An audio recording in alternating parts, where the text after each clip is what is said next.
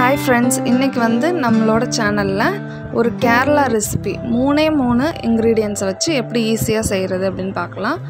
இந்த சம்மந்தி ரெசிபிக்கு தேவையான பொருட்கள் என்னென்னு பார்க்கலாம்.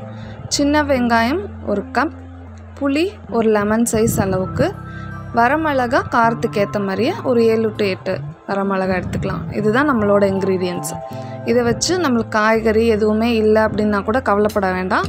இதை வச்சு நம்ம சாதம் இட்லி தோசை எதுக்கு வேணால் நம்ம சாப்பிட்டுக்கலாம். ஒரு கடாயில் ரெண்டு டேபிள் ஸ்பூன் நல்லெண்ணெய் விட்டுக்கலாம். நல்லெண்ணெய் ஹீட் ஆனதும் முதல்ல வரமிளகாயை போட்டு நம்ம நல்லா வறுத்துக்கணும். வரமிளகா வந்து நல்லா பிளாக் கலரில் ஆகிற அளவுக்கு நம்ம வறுத்துடணும். மீடியம் ஃப்ளேமில் வச்சு வறுத்துருங்க. ஹை ஃப்ளேமில் வச்சிங்கன்னா ரொம்ப நெடியாக இருக்கும் வறுக்க முடியாது. ஸோ அந்த கலர் சேஞ்ச் ஆகிறது இப்போ நம்ம பார்க்குறோம்.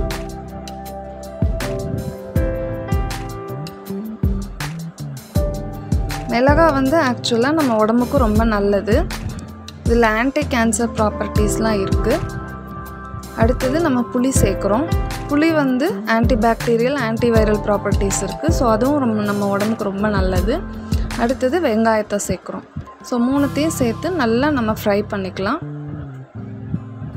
வெங்காயத்தில் நிறைய ஆன்டி ஆக்சிடென்ட்ஸ் இருக்குது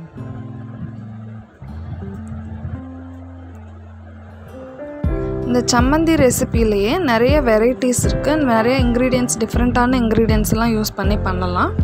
நம்ம வந்து சிம்பிளாக இன்றைக்கி மூணே மூணு இன்க்ரீடியண்ட்டை வச்சு நம்ம பார்த்துட்ருக்கோம். இது ரொம்பவுமே ரொம்ப வாசனையாக நல்ல ஃப்ளேவர் கொடுக்குற ஒரு ரெசிபி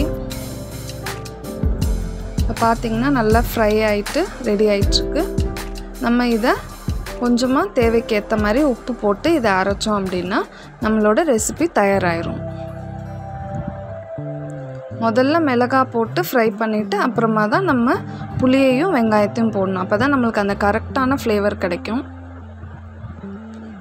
இப்போ இதை நல்லா ஆற வச்சுட்டு ஒரு மிக்சர் ஜாரில் போட்டு தேவையான அளவு உப்பு சேர்த்து கரகரப்பாக அரைக்கணும். ரொம்ப நைஸாக அரைக்கக்கூடாது. அது மாதிரி நம்ம அரைச்சி எடுத்துக்கிட்டோம் அப்படின்னா வெங்காய மிளகாய் துவையல் அப்படின்னு கூட நம்ம தமிழில் சொல்லலாம். உள்ளி மிளகு சம்மந்தி அப்படின்னு மலையாளத்தில் சொல்லுவாங்க. இந்த டேஸ்டியான டிஷ்ஷை வந்து கண்டிப்பாக நீங்கள் வீட்டில் செஞ்சு பாருங்கள் ரொம்பவுமே அருமையாக இருக்கும். இந்த குவிக் அண்ட் டேஸ்டியான ரெசிபி உங்களுக்கு பிடிச்சிருந்ததுன்னா மறக்காமல் லைக் சப்ஸ்கிரைப் அண்ட் ஷேர் பண்ணுங்கள் தேங்க்யூ